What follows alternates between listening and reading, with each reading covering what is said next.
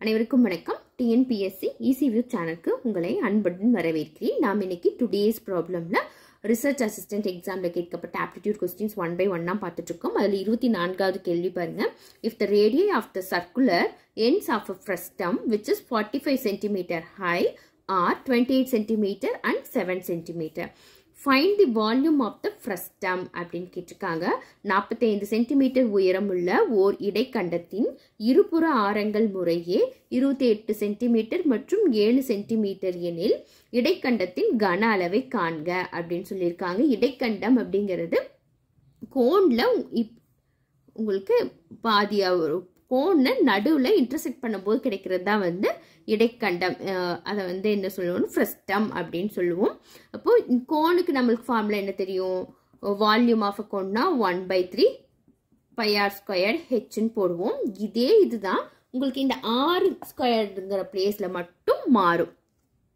ஏன் ஆர் ஸ்கொயருங்கிற பிளேஸில் உங்களுக்கு மாறுதுன்னு பார்த்துட்டோம்னா இங்கே நம்மளுக்கு ரெண்டு ஆரம் கிடைக்கும். கோனில் பார்த்துட்டிங்கன்னா ஒரே ஆரம் இப்படி மட்டும் இருக்கும். இப்போ இந்த இதுக்கு மட்டும் ஆர் ஸ்கொயர்னு போட்டுருவோம். இங்கே நம்மளுக்கு இன்னொரு ஆர் இது வந்து ஸ்மால் ஆராக இருக்கும்.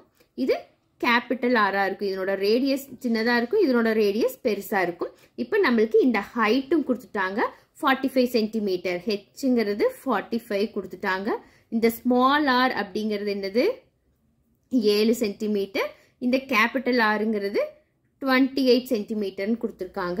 அப்போ நம்ம இந்த வால்யூம் ஆஃப் அ ஃப்ரெஸ்டம் அப்படிங்கிறப்ப என்ன பண்ணுவோம்? One by three pi r square இங்கே இது பண்ணிக்கலாம். இங்கே பை ஆர் ஸ்கொயர் ஹெச்சில் இங்கே பை ஹெச் வரைக்கும் போட்டுக்கலாம்.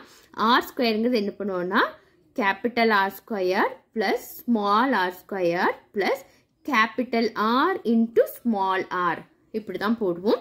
அப்போ ஒன் பை த்ரீ பையோட value twenty two by seven ஏன்னா ஆன்சர் எல்லாமே உங்களுக்கு பையில் கொடுக்கல. அதனால நம்ம டுவெண்ட்டி டூ பை செவனை ரீப்ளேஸ் பண்ணிக்கலாம். ஹைட்டு ஃபார்ட்டி ஃபைவ் சென்டிமீட்டர் இங்கே ஆறுங்கிறது twenty eight square into sorry இங்கே இன்டூவில் plus seven square plus twenty eight into seven அப்படின்னு போடுவோம்.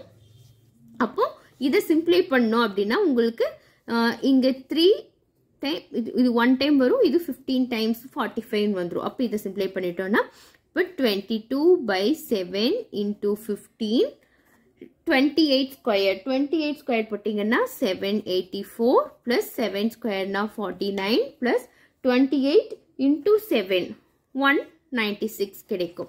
இப்போ இதையெல்லாம் ஆட் பண்ணி சிம்ப்ளை பண்ணோன்னா நம்மளுக்கு ஆன்சர் கிடைச்சிடும். இந்த சிம்பிளி சிம்பிளிஃபிகேஷனில் உங்களுக்கு இன்னொரு ஷார்ட்கட் சொல்கிறேன் பாருங்கள் இப்போ இதையெல்லாம் கூட்டணும் அப்படின்னா seven hundred eight hundred nine hundred thousand twenty nine கிடைக்கும்.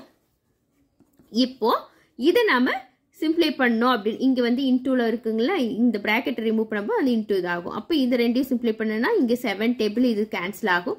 இது ஒன் டே ஆகும். பேலன்ஸு த்ரீ அப்போ ஏழு நாங்க இருபத்தி எட்டு மீதி நாலு ஃபார்ட்டி நைன்னா செவன் டைம்ஸ் அப்போ twenty two into fifteen into one forty seven இதுக்கப்புறம் நீங்கள் ஃபுல்லாக மல்டிப்ளைங் கூட பண்ணணுங்கிறதுல இந்த ஒன்ஸ் டிஜிட்டை பாருங்கள் ஃபைவ் இன்டூ செவன் போட்டோம்னா தேர்ட்டி ஃபைவ் அப்போ தேர்ட்டி ஃபைவ்ல லாஸ்ட் டிஜிட் ஃபைவ் வரும். அப்போ ஃபைவ் இன்ட்டு டூ போடுறப்போ உங்களுக்கு ஜீரோ அப்படிங்கிறது தான் கண்டிப்பாக முடியும். இங்கே பார்த்தோம் அப்படின்னா இந்த நாலு சாய்ஸில் கொடுத்துருக்கிறதுல இது ஒன்றில் மட்டும்தான் ஜீரோ அப்படிங்கிறதுல எண்ட் ஆகுது. அப்போ இதுதான் நம்மளோட ஆன்சராக இருக்கும். இதை நீங்கள் மல்டிப்ளை பண்ணாலும் உங்களுக்கு கிடைக்கக்கூடிய ஆன்சர் என்ன தான் கிடைக்கும்? Forty eight thousand five hundred and ten centimetre cube அப்படிங்கிறது தான் நம்மளுக்கு ஆன்சராக கிடைக்கும்.